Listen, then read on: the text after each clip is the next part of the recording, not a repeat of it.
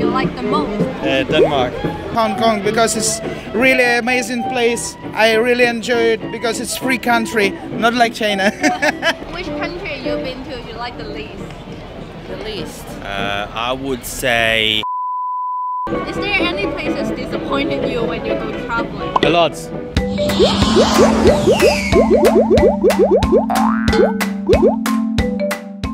我估香港人最中意嘅國家就係日本啦，因為啲嘢又好食，環境又靚啊嘛。但唔知外國人又有啲咩中意同埋唔中意嘅國家或者地方呢？即刻去問下。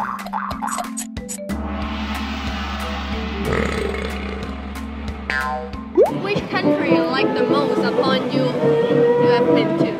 Japan. Japan Japan. It's not too busy.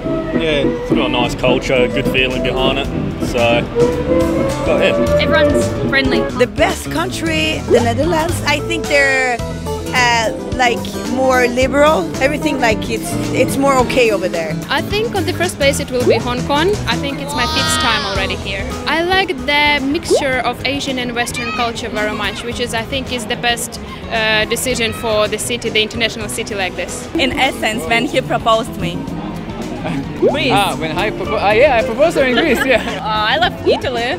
I love Italian food, cuisine, people. I like their mentality because like they are really open, friendly. I think my favorite country is the UK. I like the culture and the language, uh, music there. And I like Hong Kong. Everyone speaks English. I came from Thailand before and it was hard to communicate, but here everyone speaks English, so it's easier. Australia, because my dad is living over there and uh, I went a couple of times and the, the life is cool. Gold Coast, uh, surf, yeah, it's pretty good. Actually, it's my favorite country. It's Thailand. What do you like about Thailand? Firstly, uh, it's not a lot of people. Yes, you know, because in China it's a lot of people. Sea is beautiful sea, and of course, people, Thailand people also is very friendly. Denmark. Are you very happy living in Denmark? Yeah, I'm very happy. It's just a nice place to live. I like the climate and I like like the we have insurance and we have healthcare, free healthcare, free education. Japan? I really like the shopping in Japan. Shopping. yeah, shopping here is good. It's very hard to decide. Um, I really love England actually. I like the people there. They are very, I like the humor. Would you have any place you like the least? I think it was Bali in Indonesia because I had too high expectations, I think. And, or maybe we just picked the wrong places in Bali. Kind of disappointed me was uh, New York. I actually expected more because everyone everyone talks about it. but actually it's like most other western cities, it's not that special. For me, I didn't really like Phnom Penh in Cambodia. Just wasn't that much to see. It was kind of dirty as well. Hong Kong's quite clean. Some of the places in Thailand are not that good as I thought. For example, I went to Phuket. That was not what I expected, but some places in Thailand are quite good as well. Thailand, Phuket. It's too much, uh, too much people. India, too much people, and it's too dirty. Probably Beijing. Beijing. Oh, it's just too busy. Too busy, too, many people.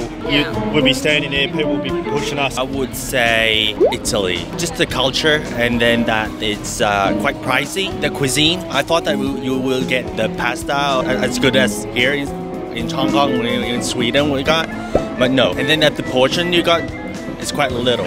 Is this something like a tourist trap? Probably, yeah. Malaysia, I didn't like it. I love Asia, but Malaysia was the la- I don't know, man. It wasn't clean. The beaches was dirty. It's difficult to say because every travel comes with some experience. Country is mostly people you meet there, and in any country there are good people and, and not very polite people. So you, you it just I'm very lucky to meet uh, nice people anywhere I go. I think every country has a, her own magic Even i- sometimes if it's a little bit bad, it's a magic. It's an experience. You know, its own culture, language, history makes every place special. 讲得好好啊！其实每个国家都有自己嘅独特之处，无论我哋遇到咩事，都会系一个难忘嘅经历。今集实测嚟到呢度，下集再见啦，拜拜。